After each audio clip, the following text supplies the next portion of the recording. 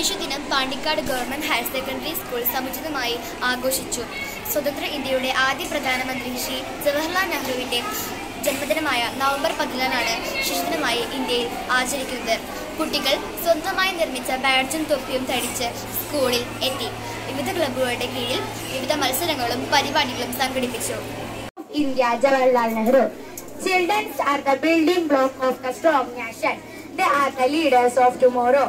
Nehru was well known for his love and care towards children as well as roses. He was a friend of children, loving and keeping them precious to his heart. प्यारे मित्रों को नमस्कार हम सभी जानते हैं कि आज हम बाल दिवस मनाने के लिए यहाँ एकत्रित Children were in jigsaw puzzle which was organized by the new students to create awareness on the importance of child protection to mark Children's Day in Kozhikode. Verdict on Shabarimala Rafael deal today. Chandrayaan 3 likely by November 20. Film industry on strike today.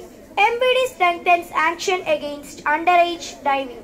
Office of Chief Justice now under RTI with key caveats. Thank you. English ക്ലബിന്റെ കീഴിൽ പ്രത്യേക assembly നടത്തി. ഇഷാം ഹുസൈൻ സഹല റഷ നന്ദിത ദേവിക എന്നിവർ വ്യത്യസ്ത പരിപാടികൾ അവതരിപ്പിച്ചു. Mithilaj N V ചാച്ചാജിയായി കുട്ടികളുടെ മുമ്പിലെത്തി. Deputy head master Shri A Abdul Khader master ഉദ്ഘാടനം ചെയ്തു. ഇംഗ്ലീഷ് ക്ലബിന്റെ കീഴിൽ നെഹ്റുവിന്റെ ചിത്രം വരക്കൽ ശ്രദ്ധേയമായി. സാമൂഹ്യശാസ്ത്ര ക്ലബിന്റെ കീഴിൽ ശിശുദിന റാലി സംഘടിപ്പിച്ചു. ശിശുദിന സന്ദേശങ്ങൾ അടങ്ങിയ പ്ലക്കാർഡുകളുമായി കുട്ടികൾ റാലിയിൽ പങ്കെടുത്തു. പ്ലക്കാർഡ് നിർമ്മാണം ക്യൂസ് പ്രബന്ധരചന മത്സരങ്ങൾ എന്നിവ ചാച്ചാജി ദിനത്തിന്റെ മത്സരങ്ങളായിരുന്നു.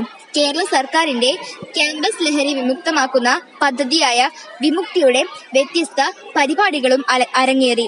വിമുക്തി ബാഡ്സ് ധരിച്ച് സ്കൂൾ ക്യാമ്പസിൽ കുട്ടികൾ പ്രകടനം നടത്തി. ശേഷം സ്കൂൾ കൺവീനർ കമിൽ മുബാറക് കേരള സർക്കാരിന്റെ ലഹരി വിരുദ്ധ പ്രതിജ്ഞ ചൊല്ലിക്കൊടുത്തു. ഒരിക്കൽ കൂടി എല്ലാവർക്കും ശിശുദിനാശംസകൾ നേരുന്നു.